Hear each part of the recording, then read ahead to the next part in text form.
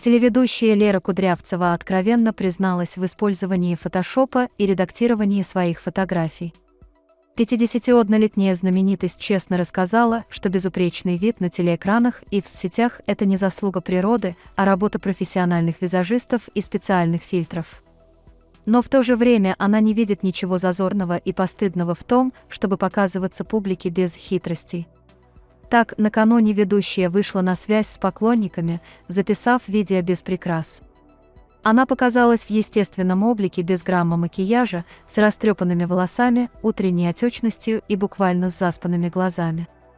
Мой утренний месседж таков, я, безусловно, редактирую и фотошоплю все свои фотографии, потому что, конечно же, приятно и вам, и мне видеть себя красивой.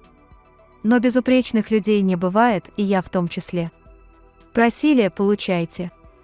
Вот еду на работу, опухшая, не накрашенная, не причесанная. Реальность такова, заявила Кудрявцева. Однако уже через несколько часов после разоблачительного поста ведущая опубликовала видео в своем привычном роскошном образе.